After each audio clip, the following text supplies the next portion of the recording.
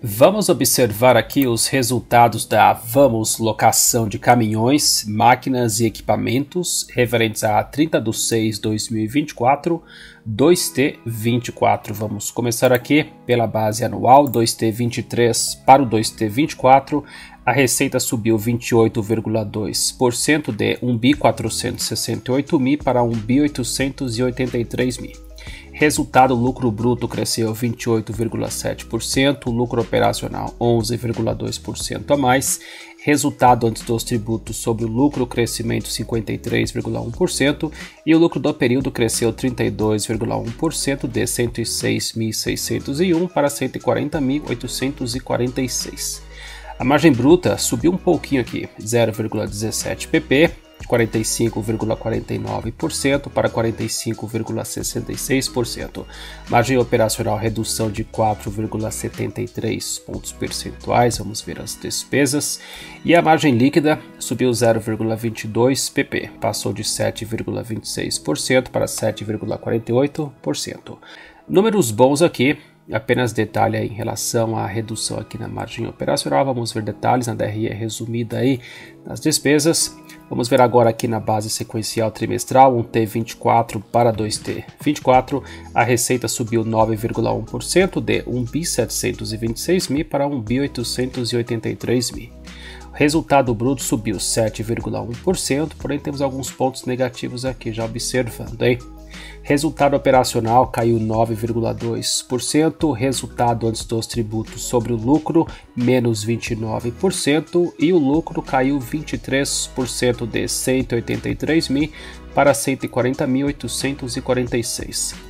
Margem bruta menos 0,86 pp, margem operacional menos 6,22 pp e a margem líquida menos 3,12 pp. Então aqui são pontos de observação aí. Vamos ver detalhes da RE resumida aí, questão dos custos, despesas e despesas financeiras, né? Vamos ver alguns detalhes aqui então. Ó. Do 2T23 para o 2T24, a receita subiu 28,2% e os custos aumentaram 27,8%. Com isso, fechou aqui um resultado lucro bruto 28,7% maior de 668.274 para 859.934, um ganho de 191.659. As despesas, receitas operacionais, saldo negativo de despesa aumentaram bastante, em 92% a mais, de menos 144.695 para menos 277.799. Com isso, fechou aqui um resultado lucro operacional 11,2% maior de 523.579 para 582.135.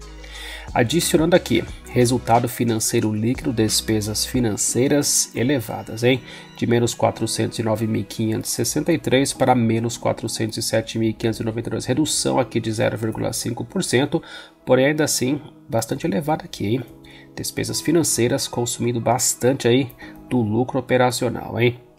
Fechou aqui um resultado antes dos tributos sobre o lucro 53,1% maior de 114 mil para 174.543, com o imposto de renda e contribuição social fechou 2T23 com lucro de 106.601, também atribuído aos sócios, para 140.846, um ganho de 32,1%, observando aqui pela base anual, ok, mas vemos aqui alguns detalhes do 2T24 que em comparação aí a base sequencial aqui alguns pontos não foram muito bons aqui na minha opinião, hein? com as variações negativas aqui e a redução nas margens. Vamos ver alguns detalhes aqui, indicadores, lucro por ação 2T24, 13 centavos, receita últimos 12 meses, 6.543 mil com um lucro aqui de 635 mil últimos 12 meses e a margem 9,7%. Lucro por ação últimos 12 meses 58 centavos, valor da ação utilizado para os cálculos R$ 8,14 e o PL está em 14,15. Na minha opinião, aí um PL mais interessante, mais seguro para os padrões atuais da economia e os temores globais aí, né? E os juros americanos, o mercado agora na expectativa da queda nos juros americanos. Então, na minha opinião, PL mais interessante aí estaria perto de 10, abaixo de 10, hein? PSR 1,37. PSR ok, não está elevado aí o valor das ações em relação as receitas da empresa, porém um PSR aí perto de 1 estaria melhor também, né? PVP 1,79. Estamos pagando aqui, ó, R$ 8,14 por uma ação que vale R$ 4,55, de acordo com o valor patrimonial por ação. Então, o múltiplo aqui PVP é 1,79. Estamos pagando 78,9% a mais. A ação não está com desconto. Retorno sobre o patrimônio líquido 12,6%, um retorno mais interessante estaria em torno de 15%, acima de 15%. Patrimônio líquido, variação positiva aqui do 1T24 para o 2T24, 133.649. Capital social realizado, número de ações não alteração aqui, do 1T24 para o 2T24. Valores de mercado 8.989 com dividendos de 3,6% últimos 12 meses. Alavancagem considerando uma dívida de 11 bi 108 mil e um resultado operacional últimos 12 meses de 2 bi 241 mil está em 5 vezes aqui, na minha opinião, um pouquinho elevado aí. Pelo patrimônio líquido está em 221,1%, considerando uma dívida líquida de 11 bi 108 mil com um patrimônio líquido de 5 bi 023 mil. Vamos ver aqui a variação do valor das ações. Elas começaram em 2024 valendo 9,41, com base na cotação 8,14 uma queda de R$ 1,27 ou menos 13,5%. Um ano antes valiam R$ 11,66, uma queda de R$ 3,52 ou menos 30,2%.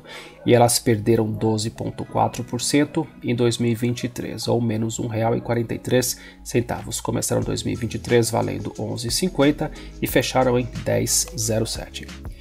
Vamos ver o gráfico aqui no comecinho do ano aqui, comecinho 2024, 2 de janeiro, anos 9,41, foi corrigindo aqui, vamos ver aqui as mínimas do ano lá nos R$ 6,90 aqui novamente, e passou a subir aqui, mercado aí animado em julho, porém correção agora aqui no momento, hein? Vamos ver aqui mais alguns números para finalizar aqui do 1T23. Para o 2T23, a receita caiu 12,7% de 1 bi 682 mil para 1 bi 468 mil.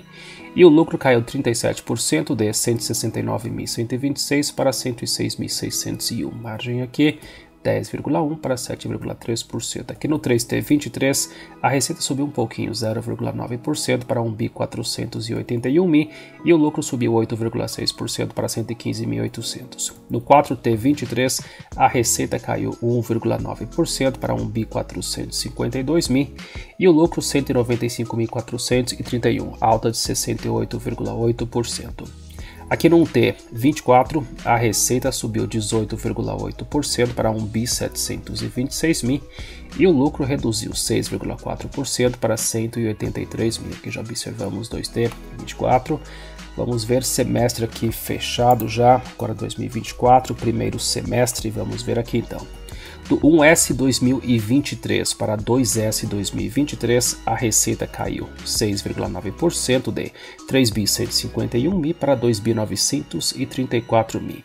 E o lucro subiu 12,9% de 275.727 para 311.231, margem aqui 8,7 para 10,6%.